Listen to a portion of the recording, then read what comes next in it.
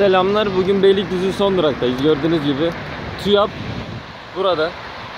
Kongre merkezi var Sergi alanı var. Arada bir oluyor bir şeyler. Gördüğünüz gibi bu kule. Tekirdağ'dan gelirken Edirne'den zaten yol üzerinde görüyorsunuz. Gerçi Tem'den gidenler uzak kalır da kıyı kesiminden gelenler görür. Görüyorsunuz. Böyle bir kule var. Bu şey kulesi. Çamlıca Kulesi var ya hani radyo yayın kulesi bu da aynı ama bu çalışmıyor. O kadar maliyeti var çalışmıyor. Böyle bir şey olabilir mi? Bunları söylememiz lazım. Gördüğünüz gibi yine Beylikdüzü'nün eşsiz bir kıyı kesimi var. Görüyorsunuz mükemmel bir şekilde gerçekten. Çok şaşırtıcı. Beylikdüzü son durakta inip burayı görebilirsiniz. Buranın manzarası böyle. Merak edenler için her türlü ayrıntıyı vermeye çalışıyoruz.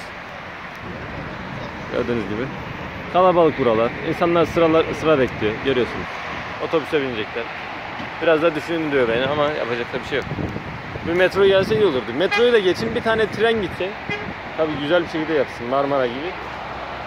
Çorlu'ya Edirne'ye kadar gitsin. Trene bineyim gideyim yani. Ben otobüslerde niye böyle uğraşayım değil mi? Yani kendi açımdan değil mi? Herkesin açısından söylüyorum. Güzel olur yani.